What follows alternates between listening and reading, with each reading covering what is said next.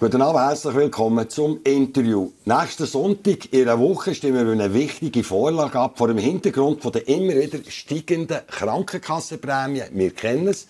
Es geht um die einheitliche Finanzierung von ambulanten und stationären Betreuungen, wo wir ja hier im Raum Biel mit dem Spitalzentrum, mit dem Medin und mit dem Maison de la Santé, wo weiter ausgebaut sehr prominente künftig vertreten werden sein in der ambulanten Betreuung. Das Spitalzentrum, das nach Brück zügelt, ist ein anderes Thema, kommen wir hier auch noch kurz drauf. Die erraten es vielleicht, ein spannender Gast hier zu diesem Thema bei uns ist der Christian Schneider, CEO vom Spitalzentrum Biel. Guten Abend, Schneider. No, Schön, seid ihr da, Schneider. Vielleicht gerade zum Einsteigen, wie es gesagt am Sonntag in der Woche, ganz eine wichtige Vorlage. Äh, sagen Sie warum? Ähm, es ist eine wichtige Vorlage, weil äh, auch gerade in Biel, wo wir ambulant eben sehr stark vertreten sind und sehr viele Leistungen machen, ähm, dass wir Ja sagen dazu, weil die ambulanten Leistungen, die immer mehr werden, den grössten Teil der Kosten ausmachen und nur von der Krankenkasse bezahlt werden. Das heißt, das geht direkt auf die Prämie. Und in dieser Vorlage geht es darum, dass auch der Kanton in Zukunft sich dort beteiligt. Und was die Vorlage auch macht, ist, dass sie sagt, egal was für eine Leistung, ambulant oder stationär, er tut sich immer gleich beteiligen. Also das sind die famosen 73,1 Prozent für die Krankenkasse und der Rest für den Kanton. Und das ist, darum ist es wichtig, dass wir sozialer werden. Das heißt, ähm, der Kanton, wo sich beteiligt, macht das über Steuern.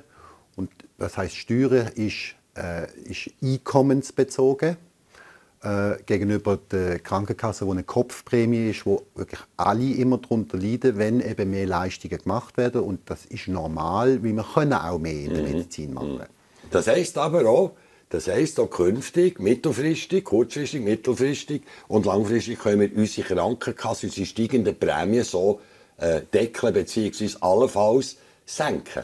Also, im ersten Schritt wäre es eine Senkung, weil effektiv die Kantone mehr übernehmen, wenn wir über alles schauen. Mhm. Ähm, aber was man auch, äh, und auch die Bundesrätin hat das ja auch gesagt, es geht darum, dass wir die starken Prämienanstiege, wie jetzt äh, im 25 6 Prozent, letztes Jahr sind es fast 8 Prozent ähm, das können wir uns, das können wir der Bevölkerung nicht mehr antun, die schafft das nicht mehr, das zu zahlen. Mhm. Und wir müssen die, die Steigerung, und die wird es geben, wir werden älter, wir können mehr, die müssen wir senken. Also wir müssen die Kosten in den Griff kriegen und dann vielleicht, ja, vielleicht sind es 1 oder 2 oder 3 Prozent, aber nicht mehr 6 oder 8. Also, das sind klare Worte für die Ja-Stimme von euch, von Christian Schneider. Heißt aber auch, äh, der hat selber gesagt, oder? Die Zunahme der ambulanten Behandlungen. Das ist ein Fakt, das haben wir mhm. heute. Man baut entsprechende Infrastruktur auf, wir kommen nicht drauf. Äh, das muss ja auch Zukunft sein, oder? Das heisst, man geht direkter meistens jetzt künftig ist angezeigt, mehr primär ambulant Hilfe zu suchen, Beratung zu suchen, mhm. äh, allenfalls einen kleinen Eingriff vorzunehmen, als immer direkt auf einen Notfall bei einem Spital. Also das ist so der eine Teil, oder, dass wir nicht immer gerade ins Spital gehen. Aber für uns ist es noch etwas ganz anderes, nämlich wir möchten Spital, also stationäre Fälle, das möchten wir weniger haben, ähm, weil es ambulant auch günstiger gemacht werden kann. Also wir sind bereit, ich sage mal so, einen Teil von unserem Umsatz aufzugeben und sagen, nein, nein, anstatt dass wir äh, 5'000 oder 8'000 verdienen, weil der Patient im Bett liegt, ist halt Natürlich. auch teurer, braucht mehr Ressourcen, machen wir das ambulant und dann kostet es halt nur noch 4'000 oder 3'000. Das ist auch ein Gewinn für das System ähm, und wir haben die gleich gute Medizin. Es ist ja nicht, also wer, wer will denn schon im Bett liegen? Natürlich. Also die Idee ist wirklich nur noch die zu haben, die wirklich meinen, und alles andere Ambulanz. Und darum haben wir natürlich hier jetzt am Bahnhof in Biel sehr viel investiert. Wie sieht da Biel aus im nationalen Vergleich? Ich meine, gesagt, im Bahnhof, das Medin, oder? bestens äh, bekannt natürlich schon, gross, modern. Und jetzt äh, La Maison de la Santé hier hinter am Walserplatz, auch gross. Äh, wie sieht Biel aus im nationalen Vergleich? Ich meine, es ja. braucht entsprechend die Infrastruktur zusehends mehr, damit man in die Richtung arbeiten kann, würde ich genau. sagen. Oder? ähm, wo mein Verwaltungsrat mit mir zusammen das entschieden hat, dass wir investieren am Bahnhof, ähm, sind, wir schon, sind wir noch sehr früh gesehen. Es gibt zwei Spitäler in der Schweiz, die das machen. Das ist einmal das Unispital Zürich, die haben am Flughafen ein großes Ambulanzzentrum gebaut. Ähm, und danach kommt gerade Biel, also wir sind dort Vorreiter äh, in deren Ambulantisierung, haben äh, auch ein bisschen pokert muss man auch dazu sagen. Aber was wir merken, ist, die, das geht auf. Es ist erstens günstiger ähm, und zweitens ist es auch effizienter. Mhm. Das heißt, ich brauche weniger Pflege, weniger Ressourcen.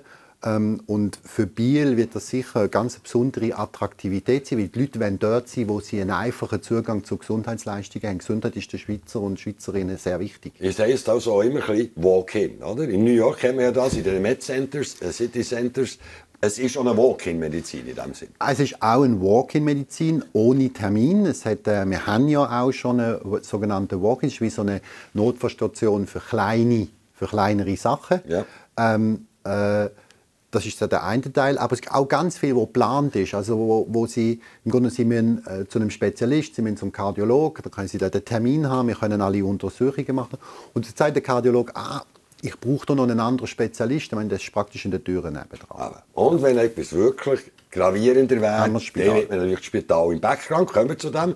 Jetzt ist es noch oben im Beaumont und äh, schon gleich ist der Spatenstich in Brück, alles ist so weit bereinigt. Äh, auch eine tolle Geschichte, die da miterlebt. Sie sind seit sieben Jahren, glaube ich, wenn man nicht alles ja. täuscht, der CEO vom Spitalzentrum Biel. Eben, vieles mit euch und eurem Team gewachsen, unter euren mhm. Impulsen.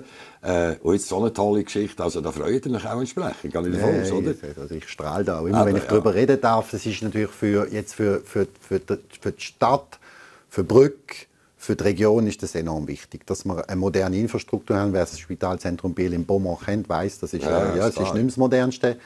Ähm, ist ganz toll, dass es 84, über 84 Prozent sind. Das beweist uns, dass die Leute das möchten, dass sie daran glauben, dass, dass das funktioniert. Es wird kein Riesenspital, das muss man dazu sagen. Eben, wie wir ambulantisieren. Ähm, es wird auch kein extrem teures Spital. Ähm, und, und, aber es ist genau, es ist am richtigen Ort, auch für die für Jura Bernois. Ich meine, über die, über die Umfahrung ist das hervorragend angeschlossen. Und äh, wie gesagt, gibt der Stadt natürlich dann auch die Möglichkeit, sich nochmal zu entwickeln im Beaumont-Quartier, wo ja wunderbar ist zum Wohnen und äh, auf den Alpenblick, aber sicher nicht, sicher nicht für ein Spital. Gut, das ist ein anderes Politikum, das habe ich schon mal darüber beschrieben, das ist äh, klar, oder, wo unsere Meinungen liegen. Wir haben euch auch gelesen, wichtig, tolle Lage, heisst auch guter Wohnraum, ja. in Klammern heute angefügt, für auch gute Steuerzahler wieder mehr nach Biel zu ziehen, wichtig für die städtischen Finanzen. Wir haben im Kanton Bern allein überall die Spitäler. Wir haben in Arberg, im Regionenspital, wir haben Klinik Linde etc., Privatklinik notabene, wir haben im Berner Juraspital. Äh, die künftigen Strategien, also die Ausrichtung, dass man ein modernes Zentrumsspital hat, wie das jetzt bauen in Brück, und dann Ambulatorien, ist das die Zukunft von der Schweizer Medizin? Das ist ein Stück weit Zukunft, ja, dass man sagt, man hat in der Region ein größeres Spital, was aber nicht heißt, dass alle anderen Spitäler gerade zugehen sondern es gibt eine Transformation. Eben die ambulanten Zentren werden sich entwickeln, eben weil es dort angeht. Ähm, sicher aber auch Spezialisierung in den anderen Kliniken. Aber wie gesagt, es wird eine Zentralisierung geben. Hilft euch die Kostensenkung von den medizinischen Kosten? Ja, auf jeden Fall, weil es gibt an zwei Seiten, wo es hilft. Es sind weniger Kosten, wir werden aber zu wenig Mitarbeiter und Spezialisten haben. Also wir müssen sowieso konzentrieren mit dem Fleckmangel, den wir haben. Das ist eben der zweite Punkt, warum es wichtig ist, dass wir Ja sagen zu dieser Abstimmung. Ganz zum Schluss, wir haben nur noch 30 Sekunden, ich höre es gerade in der Regie. Äh, ganz kurz, ganz äh, kurze Frage. Was ist faszinierend bei eurem Job, euer Job als CEO? Oh, was faszinierend ist, ich sage Ihnen, es ist, es ist, Sie machen etwas Sinnvolles. Und es ist nicht nur der Sinn, den wir haben, sondern wir können auch kreieren. Äh, auch unter einem System, das nicht ganz einfach ist. Wo es, ist es, es macht jeden Tag Spaß mit meinen Leuten etwas für die Bevölkerung zu machen, etwas neu aufzubauen. Äh, und äh, was auch Spaß macht, ich kriege ganz tolle Rückmeldungen und das tut natürlich einem auch im Herzen gut. Dankeschön, ja. Wunderbar, sagt Christian Schneider, wir glauben es, die strahlen zu aus. Merci vielmals für den Besuch und für die Ausführungen. Dankeschön vielmals, dass ich hier sein durfte. Voilà, das war eben Christian Schneider, dem CEO vom Spitalzentrum Biel. Wir sind gespannt. La Maison de la Santé ist bereits gestartet, der Bau. Das Medien kennen wir bestens, wie die Zukunft aussieht. Und am 24. wie schon gesagt, am Sonntag ganz eine wichtige Vorlage für die einheitliche Finanzierung. Wir sehen uns nächsten Freitag wieder. Schön, dass ihr dabei gewesen. Bis dann immer. Gute Zeit.